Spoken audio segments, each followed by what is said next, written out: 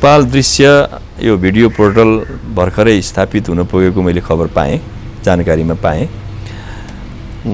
यो नेपाल पोर्टलको भविष्य यसको सफलताको शुभकामना व्यक्त गर्न चाहन्छु। यसले भविष्यका दिनहरूमा अरू प्रगति गरोस् र नेपाली समाजलाई नेपाल राष्ट्रलाई एकताबद्ध बनाउने र नेपाललाई समृद्ध र चाहिँ सम्पन्न बनाउनको लागि यसले रचनात्मक भूमिका खेलोस् जिम्मेवारपूर्ण भूमिका खेलोस् र राष्ट्रको अहित हुने खालका कुराहरूमा तात्कालिक लाभ हानिलाई हेरेर मिडियाहरूले काम गर्ने कुरालाई को विरुद्धमा चाहिँ सम्पूर्ण मिडिया जगतलाई चाहिँ सचेत गर्नको लागि यो नेपाल दृश्यले आफ्नो तर्फबाट एउटा नेतृत्वकारी भूमिका निर्वाह गरोस्। नेपालको राष्ट्रिय एकतालाई बचाउने यसलाई बलियो बनाउने यसलाई फराकिलो बनाउने जस्ता विषयहरूमा यसको ध्यान जानुपर्दछ।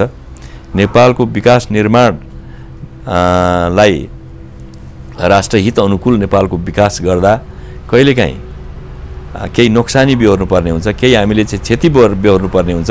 क्षति र उपलब्धिको कुरालाई एउटा सन्तुलित रूपले राख्दै राष्ट्रको हितको लागि क्षतिभन्दा उपलब्धि धेरै हुन्छ भने त्यस्ता क्षतिहरू पनि राष्ट्रको चाहिँ विकासको सामु सामान्य हुन्छ भन्ने चेतना मिडिया जगतमा आउनु जरुरी छ। अन्यथा हामीले हाम्रो देशको आर्थिक विकास र हाम्रो देशको समग्र विकासमा चाहिँ के भनेदेखि हामी अगाडि बढ्न सक्दैनौँ।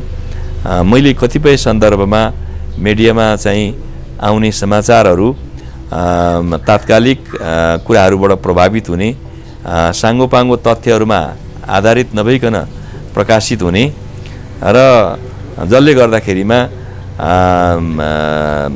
विकास निर्माण र राष्ट्रको समृद्धिको यात्रालाई सहयोग पुग्ने भन्दा कहिलेकाहीँ नोक्सान पुर्याउने जस्ता कुराहरू पनि भएको म देख्दछु। त्यसबाट बचेर मिडिया जगत अगाडि बढ्नुपर्छ।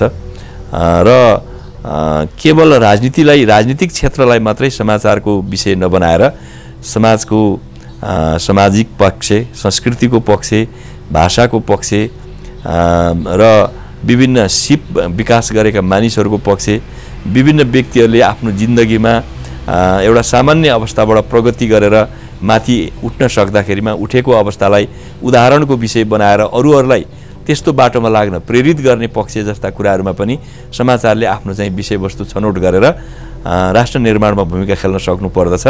यो केवल राजनीतिक मात्रै विषयमा मात्रै केन्द्रित भएर अल्पकालिक एउटा न्युजमा मात्रै मान्छेलाई भुलाउने र या